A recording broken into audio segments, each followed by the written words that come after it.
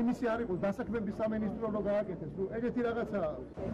მაგრამ ზოგადი პრობლემების გარდა არის ასე პროექტი თუ გავაკეთე და თანამონაწილეების თავი მაგდან ფესტიცი ფული აი ესეთ ცენტრებში უნდა ჩაიგოს და მათ მკურნალობაში უნდა დაიხარჯოს საპატიმროებში გაშვება მათ მირს არ შეუძლებს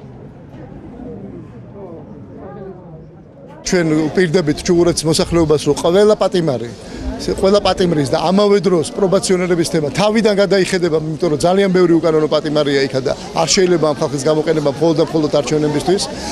მე ახლა ასევე კუკიიდან მოვდივარ და მანახებენ მოსულ ქვითრებს, რომელიც 800 ლარსაც აჭარბებს ზოგ შემთხვევაში მაგალითად წყლის დავალიანებასთან დაკავშირებით, იმუბაში სადაც გრაფიკით არის მაგალითად წყალი და დღესაც 21 საუკუნეში გრაფიკი წყალი მიეწოდება. სამაგიეროდ ლაზიკას აშენებს.